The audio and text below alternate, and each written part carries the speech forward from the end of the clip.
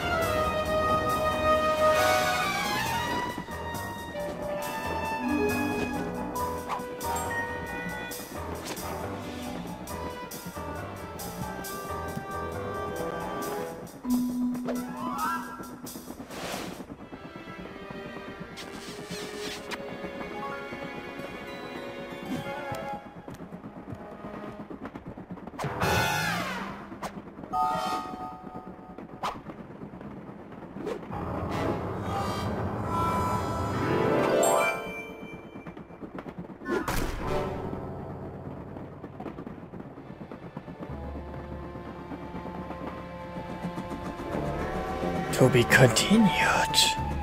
Hoho. Und das geht jetzt ziemlich schnell, das Continue. Denn die Episode 2 folgt zugleich.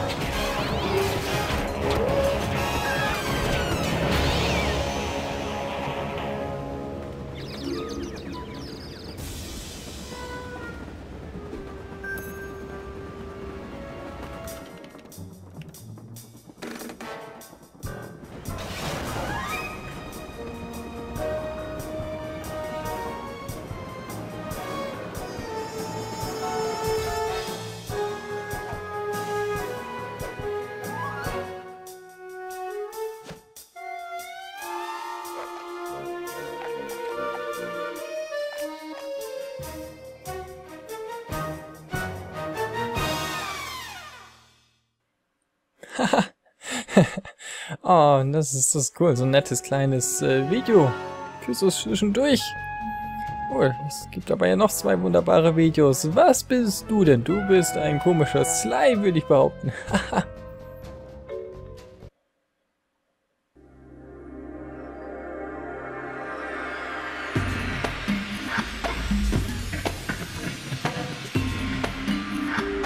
Okay, well, um, I guess we're here to talk about some of the earlier stuff uh, was produced for Sly. Uh, I'm Dev Madan, art director of Sucker Punch. I'm Nate Fox. I'm one of the game designers. And what we're looking at here is a level that was produced um, but never made it into the game. Well, it made it into the game spiritually. Yes, very I mean, you can tell it's it's like a big, uh, impressive kind of Riviera feel, high class, very Sly Sly Cooper very- style. Yeah, just figuring out the evolution of the gameplay between Sly 1 and Sly 2. This was what, six months we worked on this? Eight months? Yeah, a shamefully long amount of time, and it didn't even make it into the game. Yeah. But it was sort of the uh, the like the conceptual building block for how we were going to construct Sly 2, which was a big departure from Sly 1. I mean, Totally. you can tell like it's all non-linear in how you move through this space, Totally.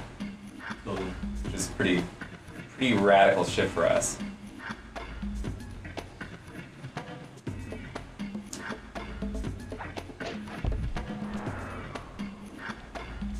I remember in this level uh, we were going to have Bentley steal a giant yacht and smash it through all of these docks and eventually uh, bash it into that large uh, building which was a casino so that the Cooper gang could pull off a pretty sweet heist.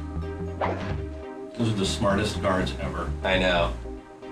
But at least they stand at attention, you know. Sly attacks them and they're Yeah. they're there, they're very present emotionally. I love this capo because it uh, features the fine Sucker Punch tradition of writing poor French on things. Ten months. So we're now back at Sly 1. Do you read me? Yeah, Bentley, I hear you. I've just identified a potential problem. See that filthy game I love, you know, we, we, we kept the same Bentley from the very first just kind of voice uh, experiment. Okay. But that's Give me Sly. a chance for me oh to my bust gosh. out my new climb move. Climb move. Oh, objects, man. Hopes and like. If you ever wanted like to that punch ladder a character in the face more, That would be it. Yeah, that Bentley's a pretty interesting guy, the voice of Bentley. Mm-hmm. He's a friend of the fellow in the office. He worked in a record store down the street Yeah, from me. yeah. Jump and hit the circle to Be nice to go in and get a uh, recommendation on a album. And he ended up being the voice of Bentley. Yeah. Well, it'll give you record recommendations in the Bentley voice. I think you want the one. Two shelves down. Yeah, how many times? Oh, look at the dancing money. cat. Yeah. Holy Nothing says video game good times like Dancing cat. dancing inanimate. ob- Well, I guess it is animate if it's dancing. But, uh, Oh man, even this music I remember. I can't listen to this CD anymore. so this is the same level we are just looking at, just in a obviously much more primitive form. Look at the animations. Oh yeah. Sly looks like he's got a problem. Yeah. What's his Wow. deal? If you saw somebody in real life or anything like that, what would you assume would happen to them? Um, hmm. I'm thinking burn victim.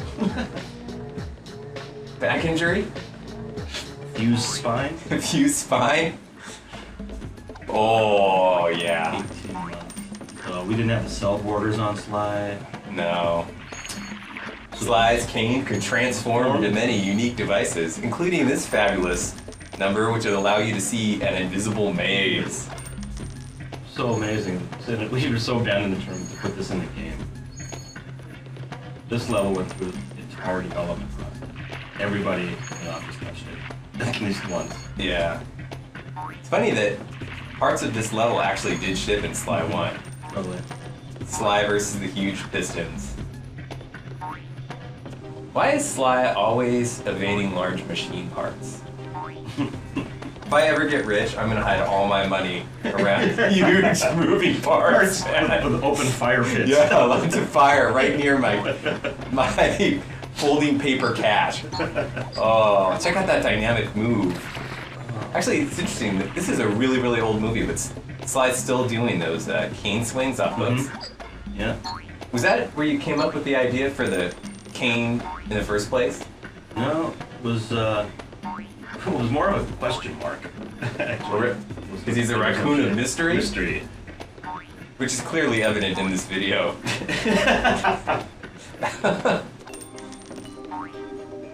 Who is that masked character swinging on the Well, the one thing that I kind of wish that we didn't get rid of was the original idea was that Sly's eyes, you should always be able to see them, even in the dark. So, like, you'll see here, he turns around, if he ever turns around again, um, how his eyes pop out. Yeah. Oh, remember that checkpoint with the Sly logo on it? We had a lo- lot of arguments internally about whether or not there would be Sly iconography in the world that belonged to the boss. Oh, yeah, yeah, yeah, totally. It would feel more like stealing if you didn't run across stuff that uh, belonged That to belong you. to you, yeah. He's finally made, he's made it in. I like that most of our conversations internally are about what would make it feel more like thieving or being a thief.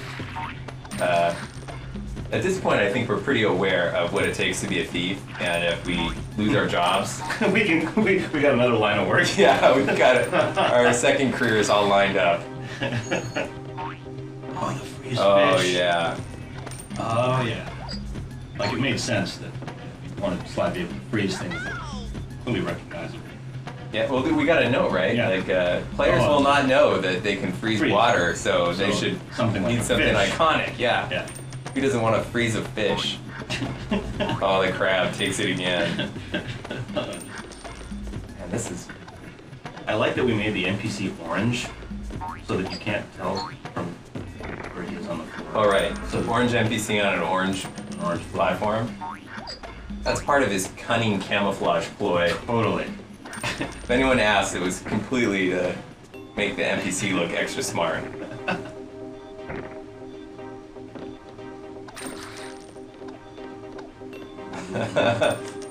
Money popping up out of holes.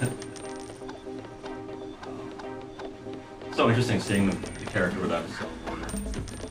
I really like that old thing where the money would fly, Fly, like yeah. butterflies into your pack. Yeah. Pretty, you know, uh, surreal. Yeah. But uh, it's The wording. yeah. Didn't we have problems using uh, green money because it wouldn't localize into yeah. different countries? And uh, truly illustrates a, a problem globally that we have different colored money. The video game industry would really benefit from one colored. Oh, the underwater approach. approach, yeah. You'll notice that's the same fish that was the freeze fish. Just kept reusing them. Slap. Oh yeah, you can change the wings on the underwater vehicle to go through different openings in the cave. Actually, if I remember correctly, Raleigh's level was supposed to entirely be underwater. Yeah, yeah. That was gonna be our first level of the game, Yeah. underwater, because it was gonna be easier to do it that way. Oh man. Oh, very intense. This this is amazing. This old Sly, it's good. Was this PC? Was this on PC? I don't know. You know, frankly, like I've blocked this Sly out of my memory. As far as as far as I'm concerned, the Sly we know today kind of sprang up fully formed. He's like got boxing gloves on and mm-hmm. big clown shoes. Clown feet. Oh, but check it out. He's a he's a, dynamo in action. Wow, what's that up ahead? Stairs. Oh yeah. Video games are all about like fantasy fulfillment, and here we're fulfilling the fantasy of ascending a blue staircase. but watch out, kids! There's lava up ahead.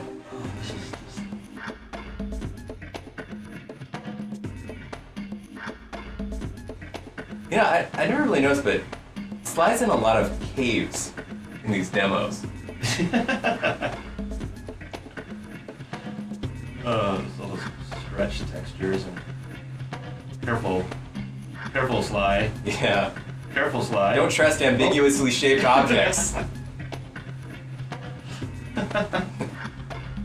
Dev, I don't know if you know it, but uh, orange means lava. lava. Totally. Lava is bad for video game characters. video game? char- In a Yeah. video game? Lava. It is. At least in most video games, that's the case.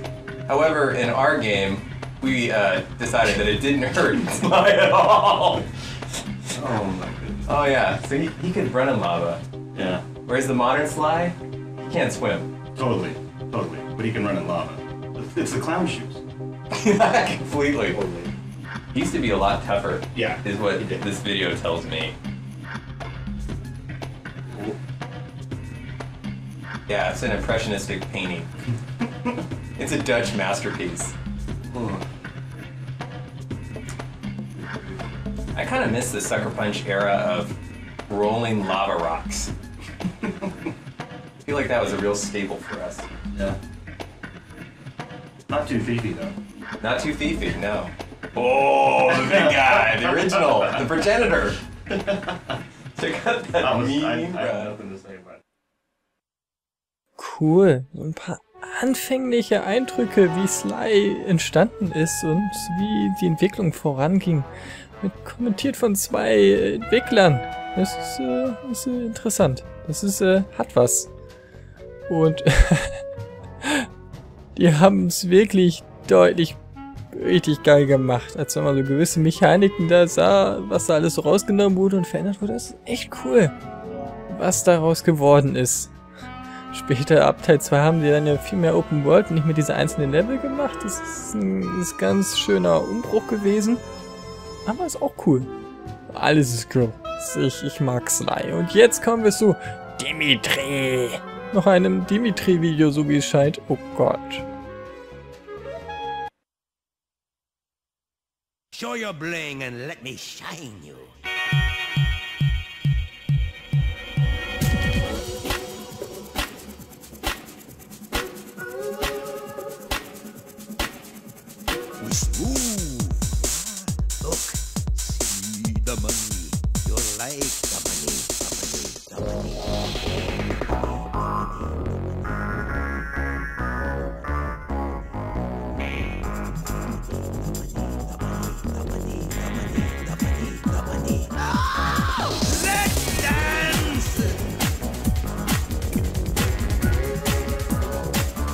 Hat voll den Beat, Mann.